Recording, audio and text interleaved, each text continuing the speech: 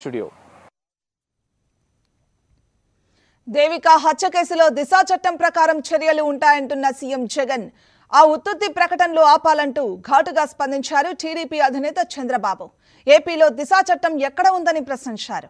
మహిళలపై నేరాలను అరికట్టే విషయంలో ప్రభుత్వం చిత్తశుద్ధి ప్రకటనలకే పరిమితమైందని చంద్రబాబు విమర్శించారు.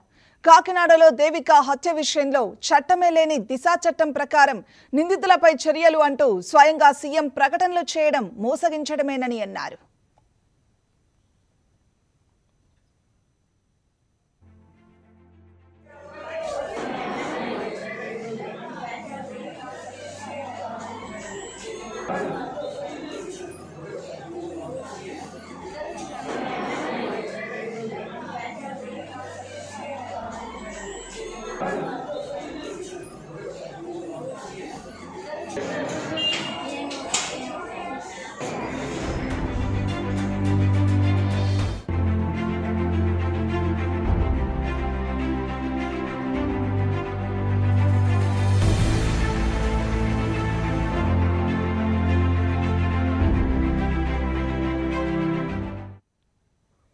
సీఎం జగన్ ప్రభుత్వం ఇలాంటి ఉత్తుత్తి ప్రకటనలు మాని నిందితులకు వెంటనే శిక్ష పడేలా చూడాలని అప్పుడే నేరస్తులకు భయం మహిళలకు నమ్మకం కలుగుతుందని అన్నారు.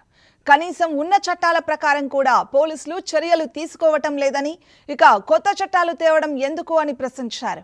గుంటూరు జిల్లాలో అత్యాచారం కేసు పెట్టిన వివాహిత ఫిర్యాదును పోలీసులు పట్టించుకోకపోవడంతోనే ఆమె ఆత్మహత్య చేసుకుందని అన్నారు చంద్రబాబు.